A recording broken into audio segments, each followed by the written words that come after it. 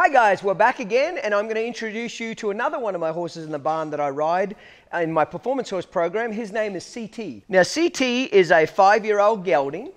Uh, he's by a horse called Dual Rey, which has been a real popular cutting horse sire over the years, and he's out of an owned order, a High Brow Cat.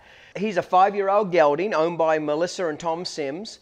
Really a nice horse, very interactive with a cow, really likes cows. His best event is going down the fence. I did not train this horse initially. I bought him as a three-year-old after the futurity from a guy called Ty Benson. Ty Benson is an excellent cow horse trainer, sells a lot of high-end cutting horses, two-year-olds and cow horse two-year-olds, so a very good trainer. He's the one that actually trained this horse, so he gets most of the credit, or all the credit really, for training this horse on a cow. And CT's been good for me because he's taught me quite a bit about working cattle and how they're supposed to feel and what they're supposed to do. So I like this horse. Things that, that are really unique about this particular horse. Well, first of all, he's just pretty. Just look at this thing. Like he has just got a real lot of sex appeal to this thing. He's just beautiful. Do you see how much my horses shine? That's what I talk about. We don't brush our horses that much. I talked about what Gordon McKinley taught me when I was a kid.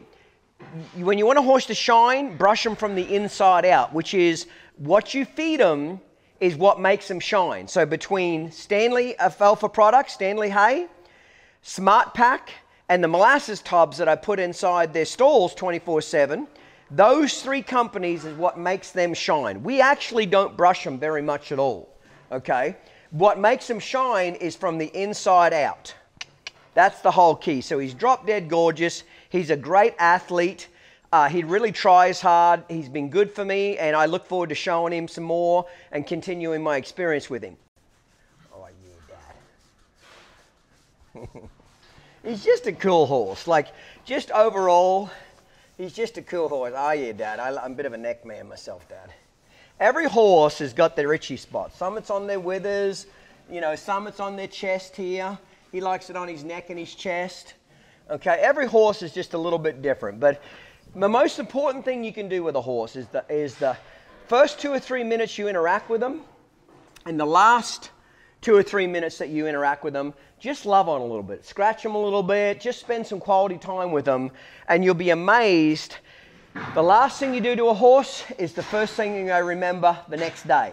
So if the last thing you do with them is just loving on them, scratching on them, find out what their itchy spot is, whether it's under their belly, under their tail, on their neck. Some horses love fingernails on their necks. Just find out what floats their boat and what turns them on, and do that for the last three or four minutes, and you'll be amazed how much easier they are to catch the next day because they're looking forward to you putting your fingernails on them and scratching them.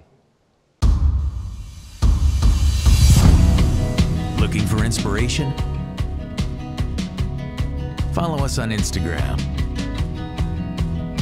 We'll take you with us and share the moments that make the method.